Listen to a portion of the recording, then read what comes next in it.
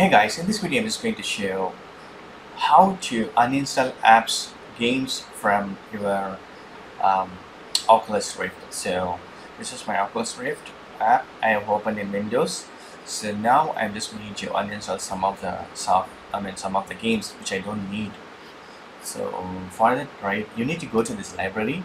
In library, this app sections, it will show whatever the applications is installed in your system. So here right I don't want this VROOM cable because I don't like this. So you need to click this options right? Click and uninstall. Wow 7.51 GB I can see. So superb. And I'm going to uninstall this. Are you sure you want to uninstall? You can reinstall it later but any data game data such as saved games uh, saved games will be permanently lost. Okay fine.